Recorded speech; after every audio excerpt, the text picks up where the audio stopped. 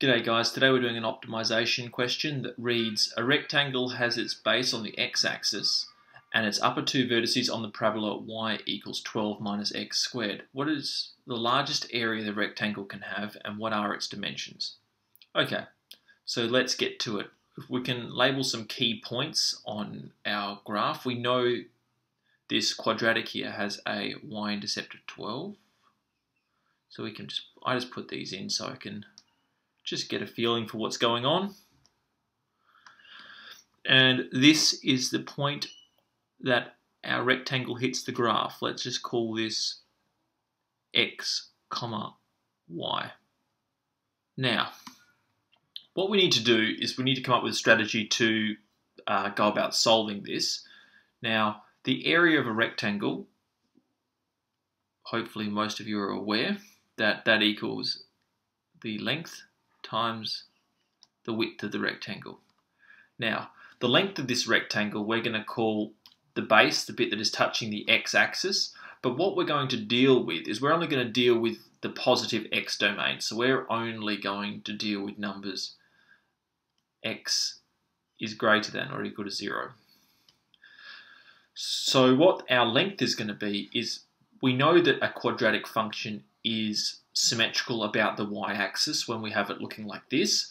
So what we can do is I'm just going to work with our positive x values and then I'm just going to multiply them by 2. So our area of this function, if we start by inputting the variables that we know, is equal to the length, which we're going to call x, but because I'm going to multiply it by 2, it's going to be 2x.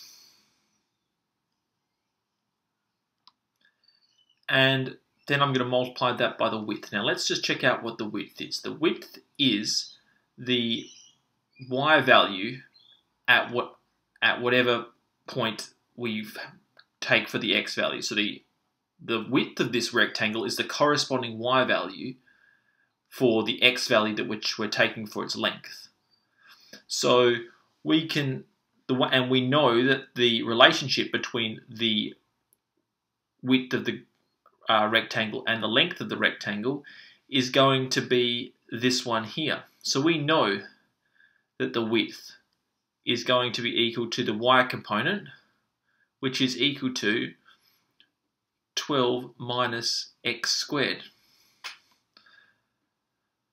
So what we can then do is we can substitute this equation in because what we would normally have is we'd have, well, the area is going to be equal to 2x y.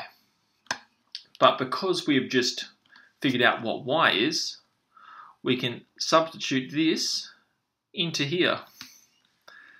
And that will give us the area of the rectangle in terms of one variable, x, which is equal to 2x times 12 minus x squared.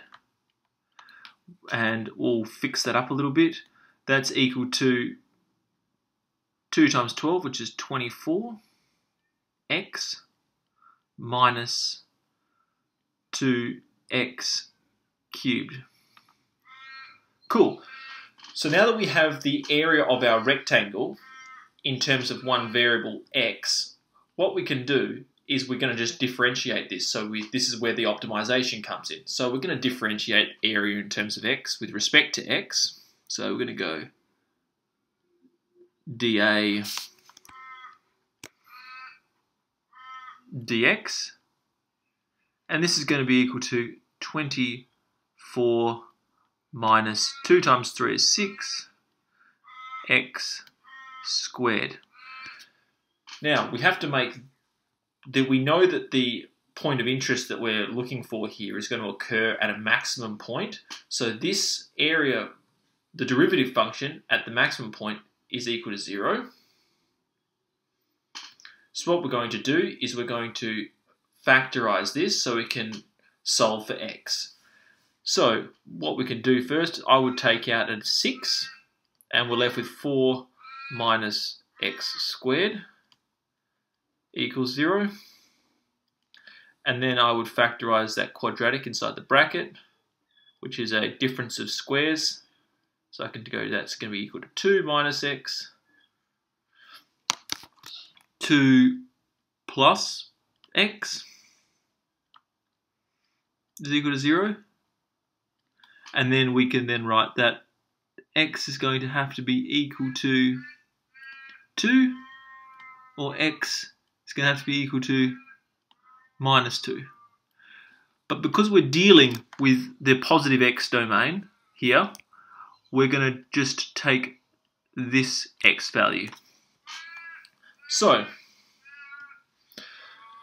once we've found our x value, we can then figure out what our corresponding y value is. So we're going to substitute that in. So we're going to have y is equal to 12 minus x squared, which is just 2 squared. So we've got 12 minus 4, which is 8. So what we can do now is once we've got our x, we know that our full length is going to be equal to 2x, so it's going to be 4. So we can then just work out what our area is. We'll just take it back up to the top.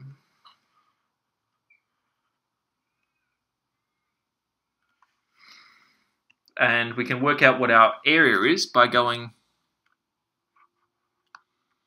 length times width. So our length is going to be 2x, so that's 4, times the width, which is 8, and the maximum area is going to be equal to 32. You can, and units squared.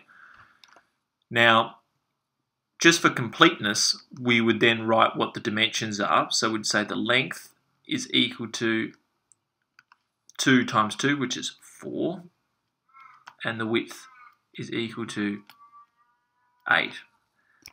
And there you have it. So this is quite an easy optimization question. There's not much to it. There's not much algebra either. But it's just forming that link between um, the y and its corresponding x value, as well as like knowing to just use the positive x domain and then multiply it by 2 because of the symmetry of the quadratic function.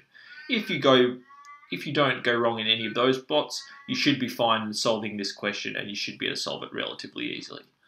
Well, so I hope you that helped and I'll see you again here next time.